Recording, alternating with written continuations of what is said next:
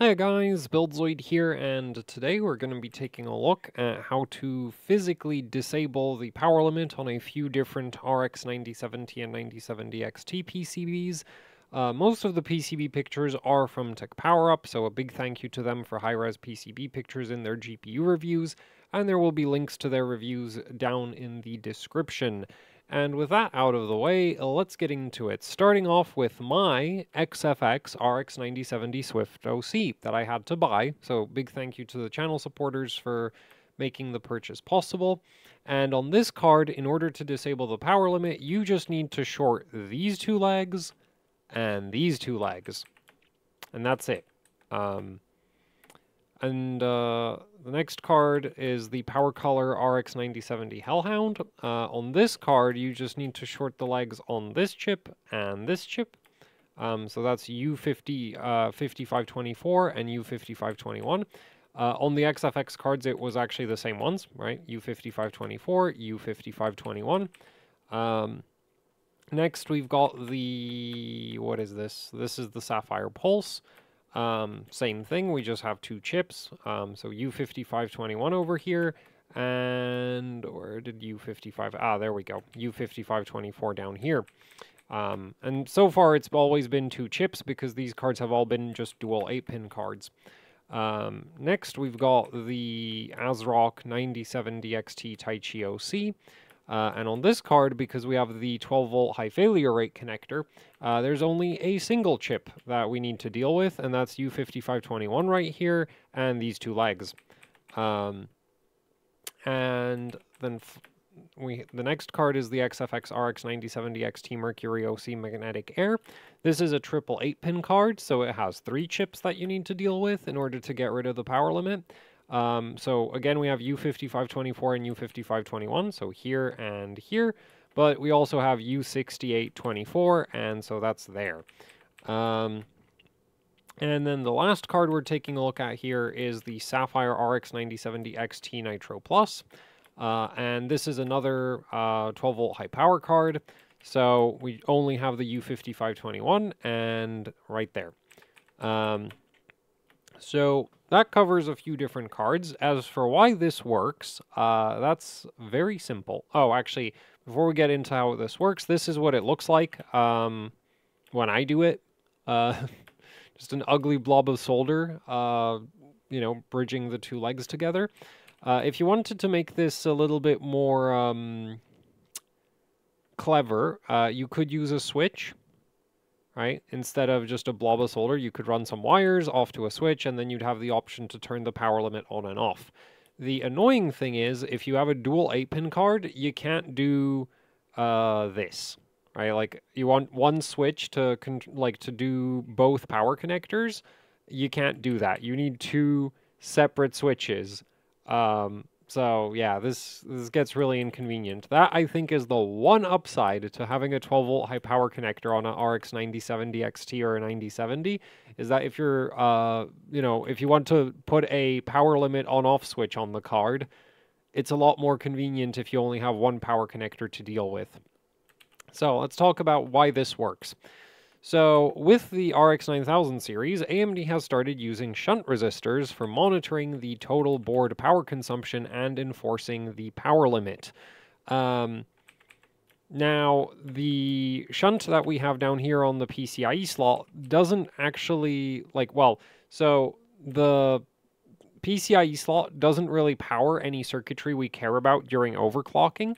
Um, and what I mean by that is basically all of this and all of this on this card runs off of the two 8 pins, right? And if you're pushing a 9070 XT, um, even to its like absolute limits, the power rail that is going to see the biggest increase in power consumption is V-Core. So that's this and this. And since both of these are just hooked up to the 8 pins, we don't have to worry about this shunt resistor down here and its associated uh, like monitoring chip. So, yeah, we don't. That's like why for all of these cards, um, I'm not bothering with the PCIe slot because, as far as I can tell, on 9070s and 9070 XTs, it is standard to run all of the like power rails that we care about for overclocking off of the 8 pins. Um, So there's no reason to worry about the shunt on the PCIe slot. Now then, the shunts on the 8 pins, uh, well, you get one shunt per power connector, so, you uh, then you get one of these chips per power connector. As for what exactly these are, I have uh, some suspicions. These are probably current sensing amplifiers, um, because the way this works is this right here is a 1 milliohm uh, shunt resistor. So if we have 10 amps of current flowing into the card through the power connector, there's going to be a 10 millivolt voltage drop across the shunt resistor. So if we measure that voltage drop, we can calculate how much current is flowing through the card because the resistance of the shunt resistor doesn't change and we know what it is. Um, but the issue is 10 millivolts is kind of not very convenient to measure. So that's what uh, U5521 and 25 are, I mean 24 are supposed to deal with, is we have some filtering circuitry. So we have these two resistors right here. These are both 10 ohms. Uh, then we have some capacitors. And the way this is actually wired up is um, like this and like that. Um, and this goes to ground on this end. Uh, this goes to the shunt, the other side of the shunt, and then um, yeah, so we have some filtering capacitors because we don't actually want the power limit enforcement. Like when a GPU is running, the power consumption isn't very consistent. So you'll get something like this. And you don't really want the GPU power throttling like here, right? Like, because this spike over here, this is not long enough to like matter. Um, so we don't want to be power throttling prematurely.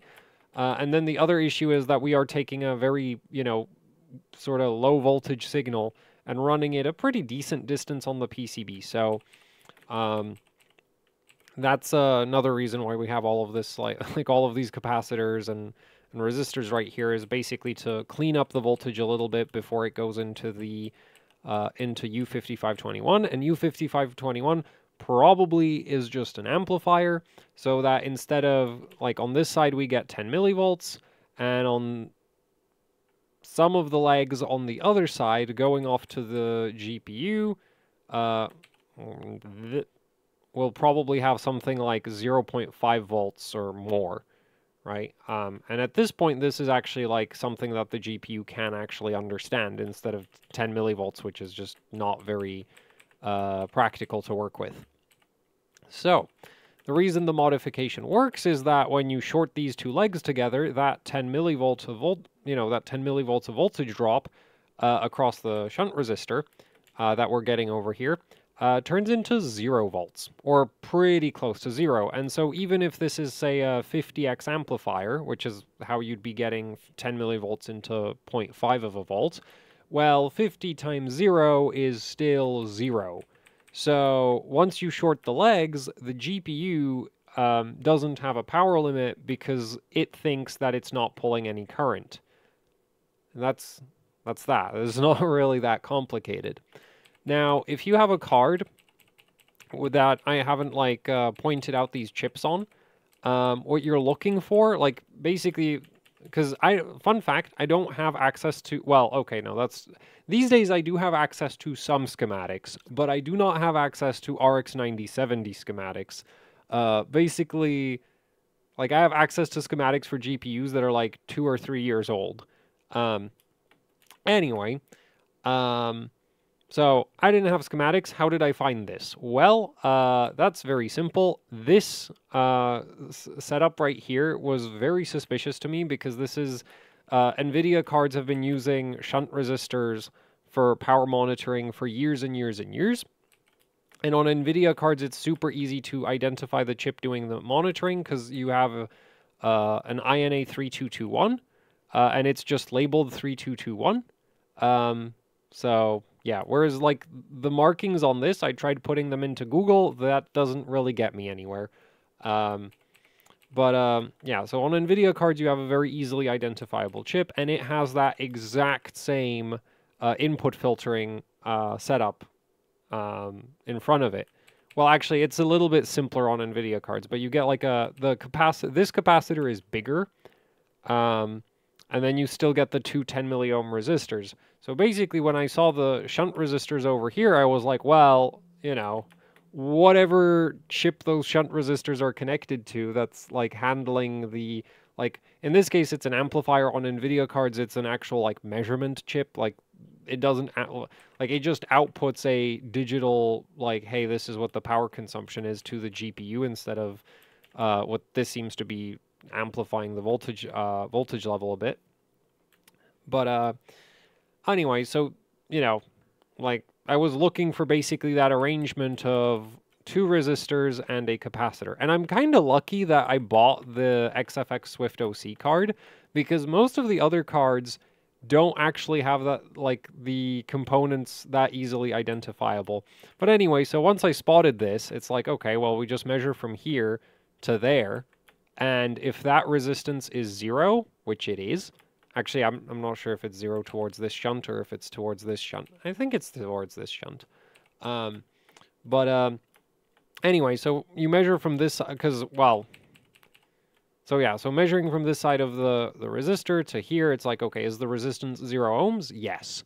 So that means this resistor has to be connected to like the thing with the shunt resistor is that this is one milliohm, right? So like regardless of like you can actually see where the like um sense like where the um sense pads for this are right? These are like the power pads, and these are the like measurement pads. But um, anyway, this being a one milliohm shunt resistor, you can't tell from a single, like from a simple resistance measurement, which side you're actually connected to. But it also kind of doesn't matter, um, right? Like I don't care in this scenario. Um, so yeah, so it's just like, okay, take a measurement and it's like, okay, these resistors are connected to one of the eight pins. I'm not sure which one right now. Um, and then it's like, and so at that point, it's like, well, these are also 10 millio, I mean, 10 ohms. And then we have a capacitor here that's for filtering, and then two more capacitors for filtering. Um, and they connect to these legs over here. So, uh, yeah, this, this got to be the, like, shunt monitoring circuitry. Um, and then up here you can see the same thing, right? We got our two resistors, and then it goes like this, and like this, and then we got the three capacitors. Um, and you can see that on every single card. So basically what I'm trying to say is if you have a card um, that I didn't go over here, right? Because there's like, well, the Asus card for one thing is like I'm not a hundred per the component layout on that card is a bit weird, so I don't want to try like guess from photos where the appropriate circuit is. Uh, and it's not conveniently labeled, unlike a lot of these other cards. But anyway, but so for example, on this power color card, we have the same thing, where we got our resistor, resistor, cap, cap, right? And this connects like that, and then it goes here, and here, and then to the legs. Um, so a little bit of a sort of more awkward connection, but you still have that same set of components, like the two 10 ohm resistors and then the three capacitors. And here you can see the same thing, except I'm pretty sure the resistor, the 10 ohm resistors for, you know, this uh, circuit are on the back of the board um, instead of, so we can't see them in this photo, but they're on the other side of the PCB. Same thing going on actually on the XFX card. Um, oh, actually, this ASRock card makes it super easy. We've got our two resistors over here. Actually, I'm not entirely certain these... It looks like a trace right there. Okay, no, this might have the resistors on the back again. Um, but you have that, you know, set of three capacitors right here. So there's two resistors somewhere. It might be these. They might be on the back. Doesn't really matter that much. Also, this is U5521, um, which makes it easy. But uh, with the XFX card, so ah, here we have one where you have the two resistors on the front, but you don't have the two capacitors. The capacitors are on the back. Um, and then here we have that exact same arrangement as the Power Color Hellhound card. And also, this is also the same as the Power Color Hellhound card, right? We have that uh, three capacitors, but the resistors are all on, on the back. Um, I think on the Sapphire Nitro Plus, it's pretty easily... Yeah, so this card does it like this. Right? The, for the connection to the shunt resistors. And, uh, which one did I miss? Oh, there was the Pulse card from Sapphire. Yeah, so here we have the three capacitors, but the resistors are probably on the other side. And then down here, it looks like we might even have the resistors on the same side of the board, but the connection's are probably going to be looking a bit something like this, probably. I'm not sure. I don't actually have all of these cards in hand. That's why I'm using photos from Tech Power Up. Um, but anyway, so if you're like trying to figure out where, like, which, what is, like, if you're trying to find the equivalent of U5524 on a card that I didn't, you know, go over here, you're basically looking for a set of three capacitors and then two 10 ohm resistors that connect to the power connectors. Um, so, yeah.